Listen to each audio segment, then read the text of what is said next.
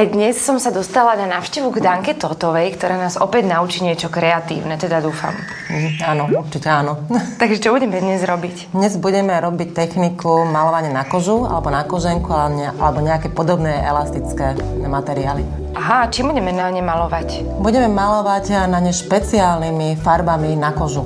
Ktorá chytá aj na tie ostatné elastické materiály? Áno, presne tak, presne tak. Na výzdobu kožených predmetov potrebujeme akrylovú fixku, ľubovoľné šablóny, farby na kožu a štetce rôznych veľkostí, no a samozrejme kožený alebo koženkový predmet, ktorý chceme ozdobiť. Aj toto si malovala ty? Túto kabelku som nemalovala ja, malovala ju výtvarnička, ale také bežné, jednoduchšie veci, ako napríklad e, menšie kabelky, alebo nejaké koženkové notesy, alebo peňaženky. Myslím, že keď to zvládnem ja, to zvládne každý. A to tam potom ostane? Ne- nezotrie sa tá farba nejakým spôsobom? Nie. Takýmto spôsobom si môžeme namalovať aj nejakú súpravu, môžeme kľudne aj topánky, čokoľvek. A toto máš čo? To je vzorkovník farieb na kožu a koženku alebo tie elastické materiály, tie farby, keď sa nanášajú alebo malujú, tak veľmi rýchlo schnú, aby sme sa vedeli veľmi rýchlo rozhodnúť, aké farby použijeme, aké kombinácii. Uh-huh. Čo ideme malovať teraz? To je jedno, na čom si to ukážeme. Je dôležité, aby sme mali ten povrch nejaký koženkový alebo kožený.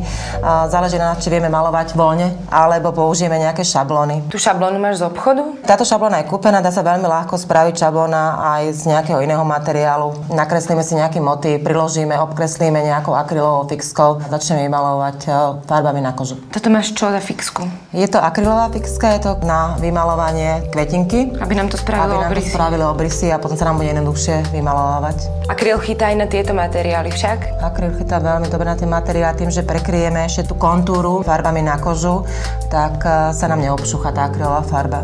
Dobre, a aké farby si sa rozhodla použiť teraz? Skúsime fialovú a e, nejakú medenú alebo bronzovú. Riedia sa vodou tieto farby?